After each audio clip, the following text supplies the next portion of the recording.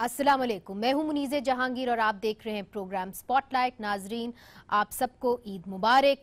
आज का जो हमारा प्रोग्राम है, वो एक मुनफरद प्रोग्राम है। हमने उन लोगों को बुलाया है जो सारे साल आपके लिए खबरें इकट्ठी करते हैं और उन खबरों के ऊपर लोग बहुत सारे तजिया भी करते हैं और जो हमारे दानश्वर हैं, उसके ऊपर लंबे लंबे प्रोग्राम करते हैं। तो आज हमने उन लोगों को बुलाया है। हमारे साथ इस वक्त मौजूद हैं लाहौर से अनवार हाशमी साहब।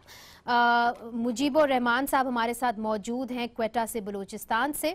फरजाना अली डेरा इस्माइल खान में हैं इस वक्त और ये ब्यूरो चीफ हैं पिशावर से और रफत सईद साहब हमें ज्वाइन कर रहे हैं कराची से। तो नाजरीन, आज का जो प्रोग्राम है, हमने जानने की ये कोशिश की है कि चारों सूबों ने ईद कैसे बनाई लॉ एंड ऑर्डर की जो सिचुएशन है वो कैसी रही और महँगाई का जो तनासब है वो क्या रहा ईद के दौरान। अभी हमें कुछ खबरें मिली हैं। हाल ही में कुछ ही लम्हा पहले कि एक जो बच्चा है, दस साल बच्चा फैसलाबाद के अंदर वो अनफॉर्चुनेटली जहाँ बहक हो गया है और एक गार्ड की गोली उसे लगी है। पतंग जो था, वो उसकी खोज में निकला था, ढूंढते हुए निकला था और उसके रद्द अमल में एक गार्ड ने उसको गोली मार दी है। अनवार हाशमी साहब, आपके पास इसकी डिटेल्स होंगी, ज़रा बताइए कि ईद का आखिरी दिन है और ये बहुत बड़ी ट्रेजिडी हो गई है फैसलाबाद में। जी जी, बिल्कुल, हम ईद के बारे में तीन रोज़ जो ईद के गुजरे हैं बड़ी अच्छी बातें करना चाहते थे, लेकिन आपसे थोड़ी देर पहले ये जो अफसोसनाक वाक़ हुआ है कि फैसलाबाद के शादमान टाउन में एक शॉपिंग प्लाजा के सामने सिक्योरिटी गार्ड की फायरिंग से 12 साल बच्चा जो है वो जाबाक हो गया है। हम्म। बुनियादी तौर पे उसका एक मासूम ख्वाहिश थी कि एक पतंग कट के जो है उस प्लाजे के हाथे में आई थी और वो दौड़ के जाना चाहता था। सिक्योरिटी गार्ड ने उसे दूर से मना किया। एक लकड़ी का बैरियर था वो उसको क्रॉस करता हुआ आगे गया तो उसके बाद तफसीलात तो बाद में पता चलेगी लेकिन सिक्योरिटी गार्ड ने फायरिंग कर दी जिससे वो जाबाक हो गया। अब इसके तनाजुर में अगर जाए मुख्तसर सा तो पिछले साल कराची और चंद शहरों में भी बिल्कुल ऐसे ही वाकत पेश आए थे और इस पर एक बड़ी रिसर्च हुई थी कि सिक्योरिटी कंपनियों को जिस तरह लाइसेंस दिए जाते हैं, उनके गार्ड जिस तरह गैर तालीम याफ्ता होते हैं और उनकी तनख्वाहें इंतहाई कम होती है, परेशानी के हाल में होते हैं तो इनसे इस तरह के वाक़ सरजद होते हैं। और इसकी मजीद तफसीत तब सामने आएगी जब फैसलाबाद के वाक़े की कुछ तफ्तीश सामने आएगी। लेकिन आज शाम को इस वाक़े को बहुत ही अफसोस से जो है वो देखा यकीन ज़ाहिर है ये बड़ा अफसोसनाक वाक़ है और अल्लाह करे कि एहतसाब हो अकाउंटेबिलिटी हो और जो मुलजिम है वो कैफरे किरदार तक पहुँचाए जाए। मगर अनवार हाशमी साहब ऑन अ लाइटर नोट ये भी जानने की कोशिश करूँगी कि हर सूबे के अंदर जो एक बकरी है या बकरा है वो कितने का बिका? तो आपने कितने का बकरा खरीदा? इन दो तीन दिनों में? देखिए, पहली बात तो ये है कि बकरा हो या दूसरे कुर्बानी के जानवर इसकी जो महँगाई का तनासब था, वो पिछले साल की नस्बत जो है, वो तकरीबन 10 से 15 परसेंट ज़्यादा था। यही वजह थी कि इस साल पंजाब भर में और बाकी पाकिस्तान में भी जो हमारे पास डाटा आया है, इज्तमाही कुर्बानी के रुझान में इजाफा हुआ है, क्योंकि वो कम कीमत पे जो हो जाती है। दस से ग्यारह हज़ार में इज्तमाही कुर्बानी में हिस्सा डाला जा सकता है। बकरा जो कम से कम एवरेज पच्चीस हज़ार का हुआ करता था, वो इस साल बत्तीस तीस से बत्तीस हज़ार में मिला है। गाय जो एवरेज जो पचास हज़ार होती थी, वो तकरीबन सेवेंटी थाउज़ेंड के करीब जो है वो मिली है। और ये तो है इसका तनासब और टेनरीज एसोसिएशन का कहना है कि तकरीबन पचासी से नब्बे लाख जानवर जो है इस साल कुर्बानी में वो कुर्बान हुए हैं, फरोख्त हुए हैं। और उसके ऊपर आपने एक रिपोर्ट भी बनाई है जो हम आपको दिखाएँगे, मगर इससे पहले कि हम इसकी तफसीली रिपोर्ट जो है वो देखें।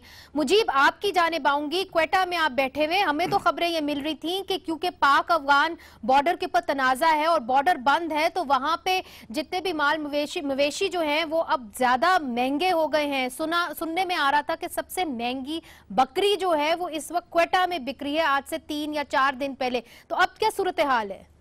बॉर्डर तो खुल गया। बॉर्डर ईद से तीन दिन कबल खुला। जी। इससे पहले भी जो मसला था वो ये था कि जो जानवर मवेशी पंजाब और सिंध से आ रहे थे उनकी कीमतें कदरे ज़्यादा थी। लेकिन यहाँ पे जो बकरे दुम्बे वगैरह थे उनके जो नर्ख थे वो नस्बता कम थे।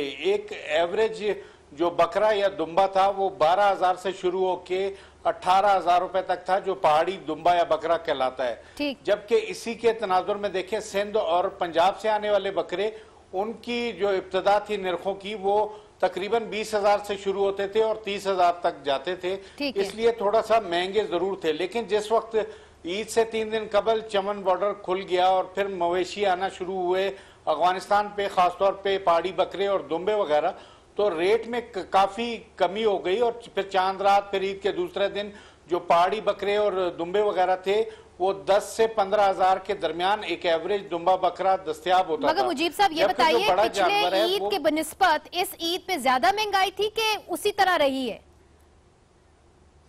जी पिछली ईद की नस्बत तो महँगाई ज़्यादा ही तस्वुर की जाएगी अच्छा। क्योंकि पिछली ईद पे जो बकरा या दुम्बा मिल रहा था वो तकरीबन 10 से बारह हज़ार रुपये में एवरेज मिलता था लेकिन अब वो बढ़ के 12 से पंद्रह हज़ार पे चला गया तो तकरीबन पाँच से दस परसेंट तो इंक्रीज हुआ इसमें। ठीक है अपनी कॉलीग जो फरजाना अली हैं इस वक्त वो डेरा इस्माइल खान में बैठी हुई हैं। मुजीब साहब मैंने सुना है कि आपके यहाँ क्वेटा के अंदर लोड शेडिंग हो रही है कोई तीन या चार घंटे। मगर मैं आपको बताऊँ कि फरजाना ने मुझे बताया जिसकी वजह से अब वो स्काइप पे बैठी हुई हैं और हम उनको नहीं ले पा रहे आ, किसी और डीएसएनजी के ऊपर। तो आ, ये बताइए कि फरजाना शुक्र है कि स्काइप कॉल भी आपको मिल गई। हमें उम्मीद नहीं थी कि आप हमें ज्वाइन कर सकेंगी। ये बताइए कि डेरा इस्माइल खान में कितनी लोड शेडिंग हो रही है और आपने बकरा कितने का खरीदा है? अच्छा मुझे आपकी आवाज़ थोड़ी थोड़ी ब्रेक होके आ रही थी लेकिन जो मैं समझी हूँ उसमें आपने लोड शेडिंग के हवाले से पूछा है और दूसरा बकरों की कीमत के हवाले से पूछा सही, है सही। देखिए जी लोड शेडिंग के हवाले से बात करें तो मैं कल से यहाँ पर हूँ तो तकरीबन 18 घंटे यहाँ पर लोड शेडिंग हो रही है यहाँ पर दो मुख्तलिफ़ किस्म की लाइनें चल रही होती हैं एक को कैंट कहते हैं दूसरे को सिटी कहते हैं और दोनों का मैंने देखा है तो तकरीबन हर घंटे बाद एक घंटे के लिए बिजली चली जाती है लेकिन बीच में भी हम्म। आपको पता नहीं चलता कि किसी भी वक्त बिजली चल जा चली जाती है। तो हम्म। इसको अगर हम ओवरऑल देखें तो मुझे ऐसे लगता है कि तकरीबन 18 घंटे की इधर लोड शेडिंग हो रही है। और मैं बड़ी हैरान हुई पिशावर से यहाँ आकर बल्कि पिशावर से मैं ईद मनाने के लिए मलाकंड गई और मालाकंड में पहला और दूसरा आदत दिन गुजार के फिर मैं यहाँ डी खाना आ गई। तो मैं एक चीज़ देख रही हूँ कि ऐलान ये किया गया था कि ईद के तीन दिनों में लोड शेडिंग नहीं होगी। लेकिन मैं देख रही हूँ कि मैं जब पिशावर तो चूँकि मैं छोड़ चुकी थी ईद से एक दिन पहले, मुझे नहीं पता कि पिशावर में क्या सूरत हाल गुजरी है। लेकिन मालाकंड में मैं आपको बता सकती हूँ, वहाँ पे भी यही सूरत हाल थी। एक घंटे के बाद, एक घंटे के लिए बिजली जा रही थी। और जब मैं यहाँ आ गई तो यहाँ भी मुझे तकरीबन 18 घंटे की ये सिचुएशन नज़र मगर ये बताइए लोगों को कई महँगाई से रिलीफ मिली है? क्या वहाँ पे जो सैक्रिफिशियल एनिमल्स हैं उनकी कीमतें कुछ कम हुई है पिछले साल से? आ, जी जी देखें बिल्कुल। आ, मैं अब आपको तीन मुख्तलिफ़ मंडियों की अगर सूरत हाल बताऊँ जब मैं पिशावर से चली थी और हम मुसलसल इस चीज़ को देख रहे थे एक दिन पहले तक की भी और बाद में भी मेरे अपने रिपोर्टर से रबते रहे क्योंकि हम दूसरे दिन ज़रूर मंडी पर आ, एक पैकेज बनाते होते हैं और उसकी वजह ये होती है कि वो लोग जो कि बहुत ज़्यादा कुत खरीद नहीं रखते तो वो इंतज़ार करते हैं कि दूसरे दिन जब कीमतें गिर जाए तो वो फिर जाकर कुर्बानी का जानवर लें चाहे वो बकरा लें चाहे वो दुम्बा ले। तो अगर जल्दी से आप मुझे अंदाज़ा बता दीजिए कि पिछले साल से अगर आप कंपेयर करें इस साल की कीमतों को तो क्या आपको नज़र आया है? मुझे पेशावर में कीमतें बहुत ज़्यादा नज़र आई हैं अच्छा। कि मतलब जो चीज़ हमें वहाँ आसानी से बीस हज़ार की मिल रही थी वो अब पच्चीस से तीस हज़ार की मिल रही थी। लेकिन जब मालाकंड और मैंने डीए खान में आके देखा तो मुझे कीमतें इतनी कोई खास नज़र नहीं आई। लेकिन बहरहाल डी खान में ये सूरत हाल है कि अठारह उन्नीस हज़ार में अच्छी चीज़ मिल जाया करती थी। यहाँ पर लोग ज़्यादातर भेड़ों और बकरियों बकरों की कुर्बानियाँ करते हैं तो वो जानवर मिल जाया करता था। लेकिन अब मुझे पता चला कि वो तकरीबन बाईस, तेईस और पच्चीस हज़ार में इनको मिला है। अच्छा रफत सईद साहब, आपकी जाने आऊँगी कराची की तो जो लॉ एंड ऑर्डर सूरत हाल है, अगर उसके पर हम बात करें तो वो भी खासी खराब रही है। हमने देखा कि कैसे सिंध के अंदर जो हिजब इख्तलाफ के लीडर हैं, इस वक्त ख्वाजा इजहारुल हसन, उनके ऊपर कातलाना हमला हुआ और उनके जो मुहाफिज हैं, उनको मार दिया गया। ये भी बताया जा रहा था कि जिन्होंने कातलाना हमला किया, उन्होंने पुलिस की यूनिफॉर्म पहने हुए थे। तो कराची की सूरत हाल अब इतनी खराब हो गई है कि इनकी रसाई जो है वो पुलिस की यूनिफॉर्म तक हो गई है और वो इस तरह खुलेआम फिर सकते देखिए मुनीजे एक बात मैं इसमें कहूँ कि कुर्बानी के हवाले से बात हो रही थी कराची के अवाम तो कुर्बानी का बकरा बनते चले आए हैं हम्म। और लॉ एंड ऑर्डर की सिचुएशन जो है वो माजी में ख़राब हुआ करती थी लेकिन आप गुज्त एक दो साल से देखें कि अब ना वो खालों के हवाले से झगड़े हो रहे हैं ना वो छीना झपटी हो रही है लेकिन हाँ दहशत गर्दी का जहाँ तक मामला उसमें आप देखें कि मैं ईद के रोज़ ये हमला हुआ है और अंसारुल शरिया का एक नाम सामने आया। लेकिन पुलिस और इंटेलिजेंस इदारे जो है वो खास फाल हुए और उन्होंने कार्रवाइयाँ की। और आप देखें कि जैसा कहा जा रहा था कि दाइश अब जो है वो सोशल मीडिया का इस्तेमाल करके तालीम याफ्ता नौजवानों को अपनी तरफ़ माइल कर रही है तो उसका अमली मुजाहरा देखने में आया। जो नौजवान वहाँ मारा गया, वो इंजीनियर है, जिसके लिए कल रात गिरफ्तारी के लिए पुलिस ने कार्रवाई की। वो अप्लाइड फिजिक्स का तालब इम बताया जाता है। इसके अलावा डिफेंस सोसाइटी में जब उसकी निशानदेही पर उसके बाप की छापा मारा गया, वो भी एक अला तालीम याफ्ता नौजवान है। तो ये कार्रवाइयाँ हैं, पुलिस मुसलसल ये कार्रवाइयाँ कर रही है, लेकिन आज बहुत हैरान कन बात ये हुई अमनो अमान के हवाले से कि जब इतनी अहम मालूम उन्हें रसाई पुलिस को हासिल हो गई थी, ख्वाजा इजार पर हमले के बाद तो S S P Malir Rao Anwar ने वहाँ कार्रवाई की। जबकि होना तो ये चाहिए था कि सीटीडी या जो काउंटर टेररिज्म विंग है वो या जो हसास इदारे इसमें तहकीकत कर रहे हैं उनको साथ लेकर एक मरबूत कार्रवाई की जाती तो शायद वो सरोज सिद्दीकी फरार ना होता। तो कराची में जो पुलिस एहलकारों की टारगेट किलिंग हो रही थी उसमें भी यही ग्रोह मुलविस बताया जाता है। लेकिन मजमू तौर से कराची में अमन अमान की सूरत जिस तरह ख़राब हुआ करती थी बकरीद पर बहुत खौफ हिरास होता था खाले छीनने के वाकत होते थे लेकिन वो इस कस्म के वाकत अब रुक गए हैं। लेकिन जो कलदम तंजीमें हैं वो दूसरे तरीकों से इज्तमाही कुर्बानी करके वो खाले इस तरीके से जमा कर रहे हैं। तो ये रफत साहब हमने एक छोटी सी रिपोर्ट बनाई है अपने नाजरीन को दिखाने के लिए कि ईद के दौरान पाकिस्तान जो कराची की सूरत हाल है लॉ एंड ऑर्डर की वो क्या रही और खासी बुरी सूरत हाल रही है कराची की। सबसे बुरी सूरत हाल पूरे पाकिस्तान में कराची की रही है। तो वो छोटी सी आप रिपोर्ट देख लें जहाँ पे ये एक बहुत ही अफसोसनाक वाक्य पेश आया इजारुल हसन के हवाले से। ये देखिए।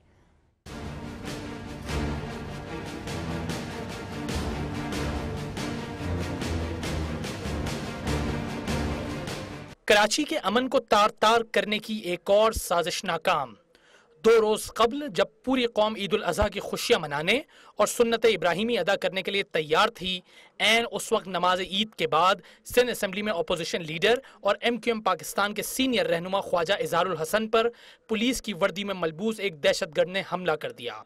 ख्वाजा इजहार तो इस हमले में महफूज रहे ताहम उनका एक मुहाफिज और एक बारह बरस का लड़का जाँ भाग हो गया।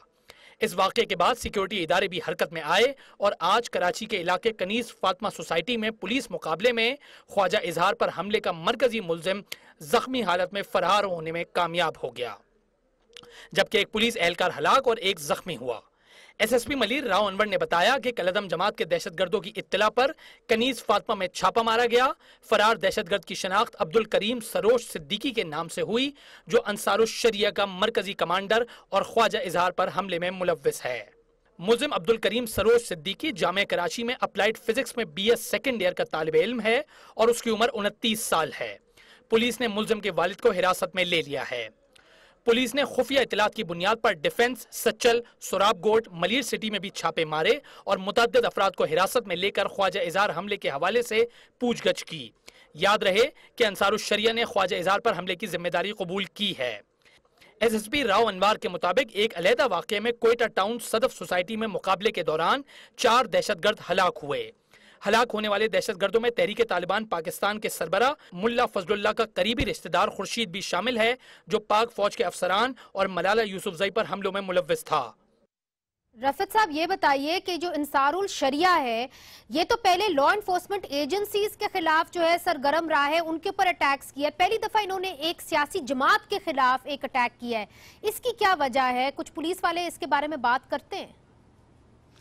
देखें पहली तो मुनीजी एक बात बताऊँ मैं आपको कि दो अलग अलग वाकयात हैं जो, अंसारुल शरिया के हवाले से आ रहा है वो वाजे हमने की है। नौजवान है। जी वो, वो, हमने एक अलग रिपोर्ट में वाजे की है जी। जी लेकिन एक जो रिपोर्ट में आपने एक बात कही कराची के हवाले से तो ये एक वाक़ है। मजमू तौर से आपने जैसा कि बताया कि खासी ख़राब सूरत हाल है इतनी ख़राब भी नहीं है कराची की सूरत हाल स्ट्रीट क्राइम ज़रूर अपनी जगह पर मौजूद है लेकिन कत्लो गारत गरी की जो वारदातें और दहशत गर्दी के वाक़ात थे उस पर बहुत हद तक काबू पाया गया है। और उसमें जो आप ये देखें कि फौरी तौर से जैसे ही इस मुलिम ने ट्वीट किया उसको फॉलो किया गया और उसी वक्त जैसे ही वो मगर हुआ, मगर घर पे कार्रवाई मगर रफत साहब ये भी बताइए कि मलाला यूसुफ जई के ऊपर तो अटैक हुआ था 2012 के अंदर और अब पाँच साल के बाद वो कहते हैं कि उन्होंने तरीके तालिबान पाकिस्तान या कुछ और जो मुलजिम है उनको उन्होंने गिरफ़्तार किया है। मुल्ला फजरुल्ला के जो कज़न है वो भी उसके अंदर शामिल है। तो पाँच साल के बाद कराची से वो बाजियाब होते हैं गिरफ़्तार होते हैं। आ, क्या आ, हम हम चाहेंगे कि आप इस खबर के ऊपर भी कुछ बात करें और हमें मालूम दें कि पाँच साल बाद क्यों इतनी बड़ी कार्रवाई सामने आई है।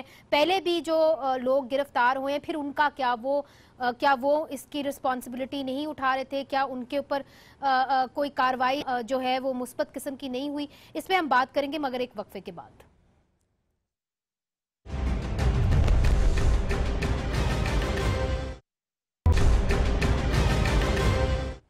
वेलकम बैक नाजरीन हमने ये जो खबर है ये भी आपको आ, आ, ब्रेक से पहले सुनाई कि मलाला यूसुफ जई के ऊपर जो जिन्होंने कातलाना हमला किया था उनमें से जो पाँच टेररिस्ट हैं वो कराची के अंदर ईद के दौरान पकड़े गए हैं। रफत साहब आपके पास इनकी क्या इन्फॉर्मेशन है? चूँकि ब्रेक से पहले मैंने आपको बताया था सॉरी ये चार टेररिस्ट थे और दस जो थे टेररिस्ट वो तहरीके तालिबान पाकिस्तान के दो हज़ार चौदह में पकड़े गए थे रफत साहब। फिर हमने देखा कि उससे पहले अताउल्ला खान भी था वो भी पकड़ा गया था त, त, उसकी उम्र तेईस साल थी और ये भी पकड़ा गया था। ये भी मुलजिम था मलाला यूसुफ जई मर्डर केस के अंदर जो एक मुबैना तौर पे उनको कत्ल करने की कोशिश की गई थी।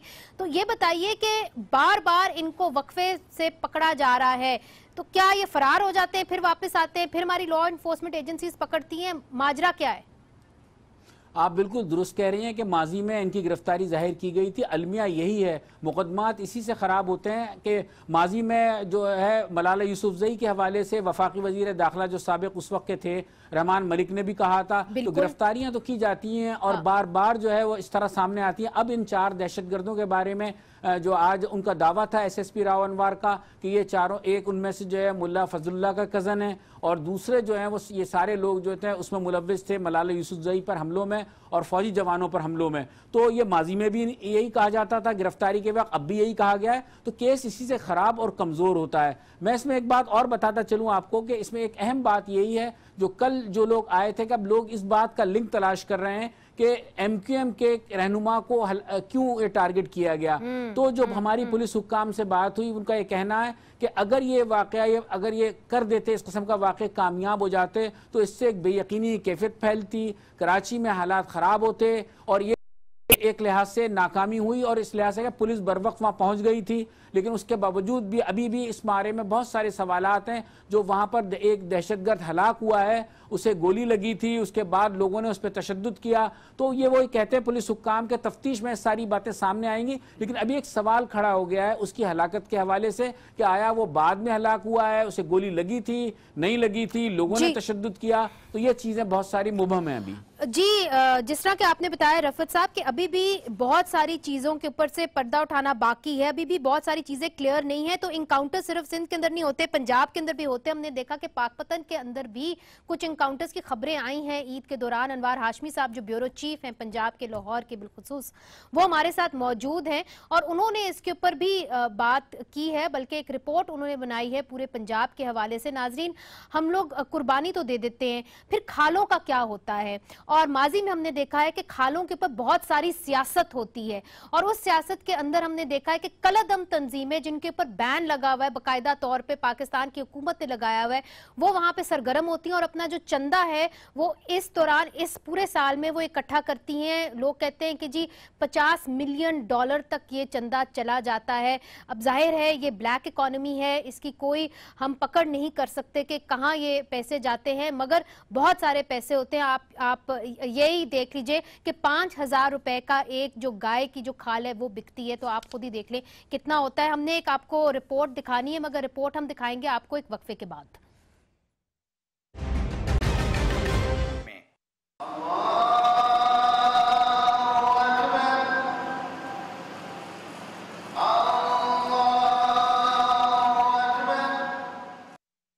नमाज़ ईद के इज्तमात के बाद लाहौर और पंजाब भर में मुसलमानों ने सुन्नत इब्राहिमी भरपूर अंदाज में अदा की। इज्तमाही कुर्बानी के अलावा हर गली मोहल्ले में कुर्बानी की सुन्नत अदा की गई। इस साल भी सूबाई महकमा दाखिला ने नेशनल एक्शन प्लान के तहत कालादम तंजीमों पर कुर्बानी की खालें जमा न करने की पाबंदी आयद की थी। इस बार कालादम तंजीमों की तरफ़ से कुर्बानी की खालें जमा कराने के लिए शहरों में कोई ओपन कैंप्स तो नज़र नहीं आए। ताहम लाहौर, सादकाबाद झंग और अलीपुर और मुजफ्फरगढ़ समेत कई शहरों में पुलिस और कानून नाफिज करने वाले इदारों ने कालादम तरजीमों की तरफ़ से खुफिया तौर पर खालें जमा करने की कोशिश नाकाम बनाई। खालें जब्त की गईं और मुकदमात भी दर्ज किए गए। एक अंदाजे के मुताबिक 50 से जायद अफराद को गिरफ़्तार किया गया।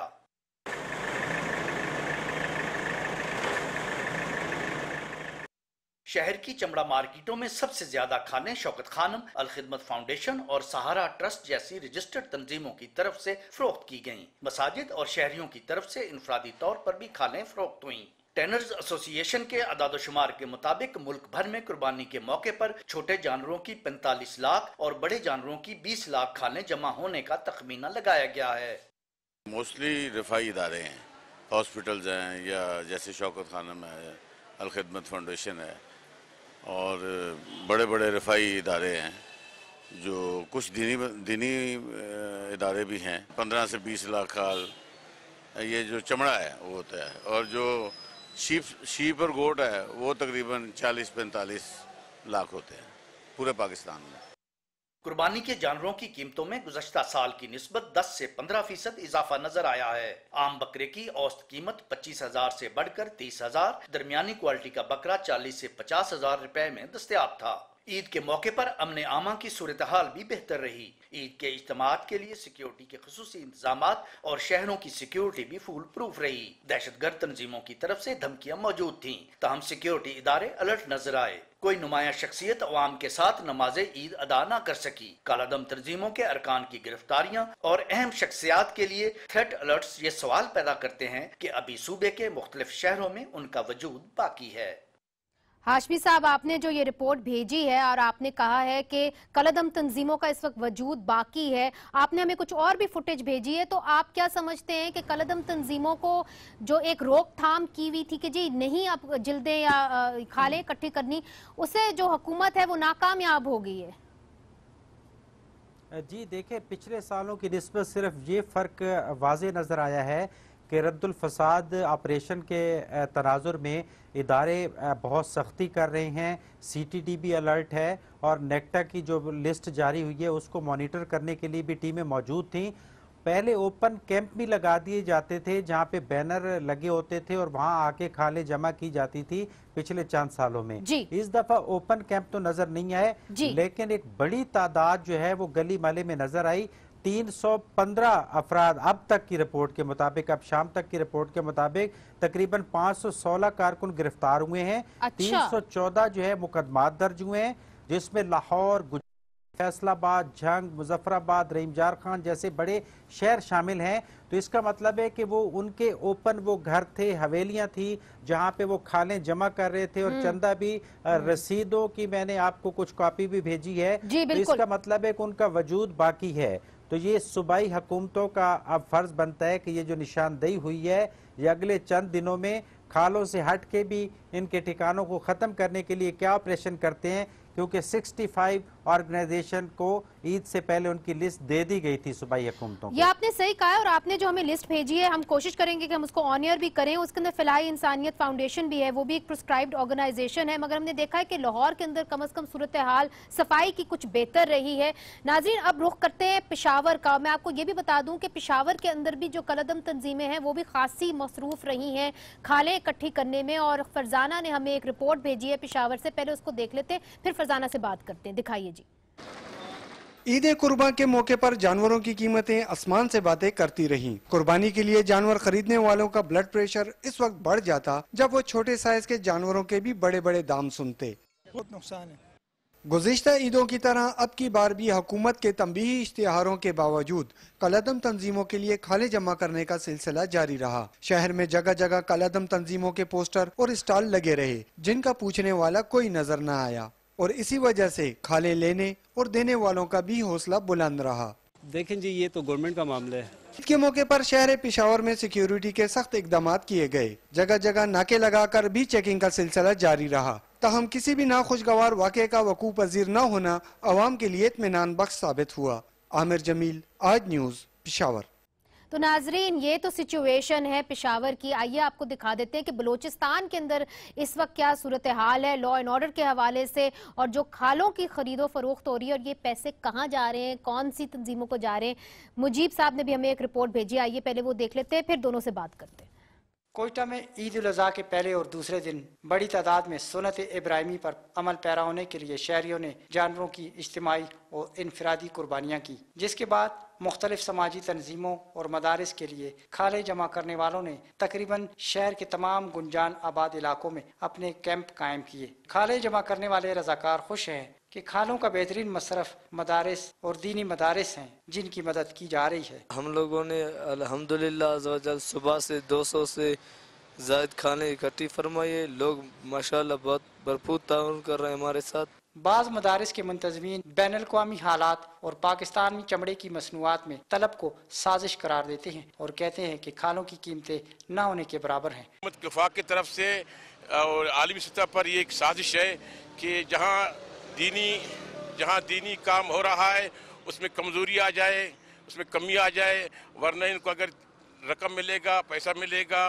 और ये तरक्की करेंगे, दीन आगे बढ़ेगा, वो ये आलमी जो मगरबी साजिश अमरीका इससे डरता है वो।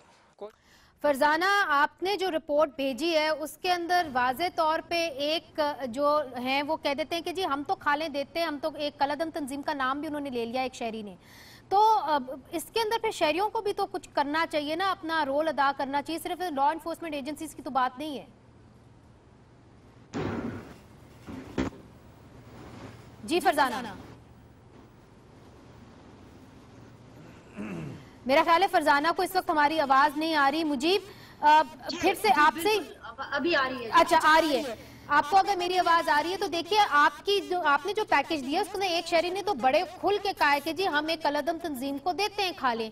तो इसके अंदर फिर लॉ इन्फोर्समेंट एजेंसीज का तो रोल नहीं होता ना। शहरियों को भी तो अपना रोल अदा करना चाहिए। क्या हमने उनको इतनी वो नहीं अवेयरनेस नहीं दी कि उनको पता हो कि कौन कलदम है कौन नहीं है? ये आपने मुझसे सवाल पूछा जी जी जी आपसे जी। अच्छा एक तो ये है कि देखिए आमिर ने जो रिपोर्ट बनाई है इससे पहले भी मैंने आपको कुछ इन्फॉर्मेशन जो हमने शेयर की आ, मैं आपको सिर्फ़ कैंट की जो सूरत हाल बताती हूँ वहाँ पे खैरुन्नास ट्रस्ट के और अलबदर ट्रस्ट के और इसके अलावा अगर आप देखें जमातुल दावा और फलाई इंसानियत फाउंडेशन के बैनर पोस्टर सब कुछ लगे हुए थे। सदर के इलाके में अगर हम देखें तो वहाँ पर बाकायदा उनके स्टॉल्स लगे हुए थे और लोग जाकर उनको खाले दे रहे थे अपनी। अब हमने जब उनसे ये बात पूछी कुछ लोगों से वो ऑन कैमरा ये चीज़ नहीं बताना चाहते थे लेकिन ऑफ़ कैमरा उन्होंने हमसे कहा कि देखें हुकूमत तो ये बातें करती ही रहती है। अब ये लोग जो है हमारी खिदमत करते हैं वक्त पर हमारे काम आते हैं। खसूस अगर आप खैबर पख्तूनख्वा में देखें तो अलखिदमत के हवाले से अगरचे वो बैन तंजीम नहीं है लेकिन उसके हवाले से भी बहुत सॉफ्ट कार्नर है लेकिन इन तंजीमों के हवाले से भी बहुत ज़्यादा है। हम्म। और बाज जगहों पर तो लोग घरों घरों घरों में जाकर गलियों में जाकर भी उनसे मांगते हैं। बाकायदा इन्होंने लाउड स्पीकर लगाए होते हैं ऐलानात हो रहे होते हैं। नमाज़ के फ़ौरन बाद ये सिलसिला शुरू हो जाता है। हम्म। अभी थोड़ी बहुत मुझे आ, सवाल की समझ आई थी कि क्या आ, सिर्फ़ ये इश्तिहार लगा देना ही काफ़ी है? सिक्योरिटी फोर्सेस क्या कर रही हैं? या लॉ इन्फोर्समेंट एजेंसीज क्या कर रही हैं? तो आप इस बात का जवाब तो इतना सा भी है कि नेशनल इलेक्शन प्लान का क्या हुआ? मगर मगर अगर फरजाना अगर हम बात को लपेटें तो ये भी कहा जा रहा था कि पिशावर एक बहुत बड़ी मुसीबत से बच गया है और हमने कुछ लोगों को गिरफ़्तार किया है कोई नब्बे के करीब लोगों को गिरफ़्तार किया है उनसे बहुत ज़्यादा एक्सप्लोसिव भी मिले। क्या खबर है आपके पास उसके हवाले से भी? जी बिल्कुल। 87 87 ये लोग थे जो कुछ में उन्होंने कहा कि दहशतगर्द भी है कुछ इश्तियारी भी है। मिला जुला उनसर था और बड़े अहम जगह पर यह ऑपरेशन किया गया और इसमें न सिर्फ़ पिशावर की पुलिस बल्कि अगर हम दूसरी तरफ़ से देखें खैबर एजेंसी के चूँकि ये बॉर्डरिंग एरिया के साथ पिशावर में किया गया है रेगी वगैरह में तो बड़ा अच्छा है। लेकिन मुनीजा मैं आपको ये सिर्फ़ ये बताना चाहती हूँ कि देखे सिर्फ़ इश्तियार छाप देना हुकूमत की तरफ़ से या वजारत दाखिला की तरफ़ से ठीक नहीं है। आज जो हमने अपनी आँखों से इन तीन दिनों में देखा और जिस तरह कलदम तंजीमें लोगों से पैसे बटोर रही हैं, खाल बटोर रही हैं, वो सारी, ये कैसे कलदम तंजीमें हैं? यहाँ तो आप ये देख लें कि एक कलदम तंजीम है और वो तो अपनी एक सियासी पार्टी लेकर पिशावर एबटाबाद इस्लामाबाद और पता नहीं कहाँ कहाँ जाके प्रेस कॉन्फ्रेंस भी कर चुकी है। तो क्या हुकूमत सोई हुई है? अच्छा ये अहम सवाल है। फरजाना इधर ही रुक जाइए। क्वेटा जाना बहुत ज़रूरी हो गया है क्योंकि कहा जाता है कि जितना भी या हमारे ऊपर तोहमत लगाई जाती है कि जी वहाँ पे सेफ़ हेवंस हैं क्वेटा के अंदर। तो मुझे क्वेटा की सूरत हाल बताएँ। इस फरजाना की तो बात आपने सुन ली। जी मुनीजे लॉ एंड ऑर्डर के हवाले से आपको बताऊँ। कि थ्रेट लेवल बहुत ज़्यादा था लेकिन law enforcement agency FC police levies ने मिल के इस ईद को पुरम रखा। न सिर्फ़ कोयटा बल्कि पूरे बलूचिस्तान में कोई नाखुशगवार वाक़ नहीं हुआ लेकिन अब से चंद घंटे पहले पंजगूर में एक अफसोसनाक वाक़ हुआ जहाँ एफसी के काफले पर हमला हुआ जिसमें उसके एक अफसर समेत तीन लोग शहीद हुए तीन मुझे वो खबर हमारे पास आ गई है जो जो इम्पोर्टेंट बात मैं आपसे करना चाह रही हूँ इस प्रोग्राम के हवाले से खालों के हवाले से जो खाले हैं उस वक्त उसका खरीदो फरोख्त जो है वो कौन कर रहा है? क्या जिस तरह फरजाना कह रही है कि अब जो कलदम तंजीमें हैं वो घर घर जा रही हैं और कलेक्ट कर रही हैं क्या यही माजरा क्वेटा में भी है? नहीं मुनीजे ऐसा नहीं हुआ। कोयटा में इस तरह नहीं हुआ। पिछले साल हमने देखा था कुछ कलदम तंजीमें यहाँ पे काम कर रही थी लेकिन एज सच उनका इतना इम्पैक्ट नहीं था। लेकिन इस बार तो बिल्कुल भी नज़र नहीं आई जो कलदम है बाकायदा डिक्लेयर वो तंजीमें यहाँ नहीं थी। फलाई इदारे काम कर रहे थे मदारस थे मुख्तलिफ़ यतीम खाने थे इसके अलावा जो ट्रस्ट है मुख्तलिफ़ फलाई वो काम कर रहे थे। लेकिन अगर इसकी आड़ में कोई और काम कर रहा हो तो नहीं कह सकते लेकिन खुल के किसी कलदम तंजीम को यहाँ पे इजाज़त नहीं थी कि वो काले जमा करे या इज्तमाही कुर्बानी करा सके। ठीक है मुजीब साहब अनवार हाशमी साहब फरजाना अली साहिबा और रफत सईद साहब बहुत बहुत शुक्रिया हमारे इस प्रोग्राम में आने का। तो नाजरीन पिछली ईद की तरह भी हमने देखा है कि किस तरह कलदम तंजीमें पाकिस्तान के कुछ हिस्से में सरगर्म रही हैं मसरूफ रही हैं। हम ईद ज़रूर मनाएँ मगर जो अपनी खाले हैं वो रिस्पॉन्सिबिलिटी से डिस्ट्रीब्यूट करें। इसके साथ ही मुझे इजाज़त दीजिए आप सबको फिर से ईद मुबारक हो। खुदा हाफिज़।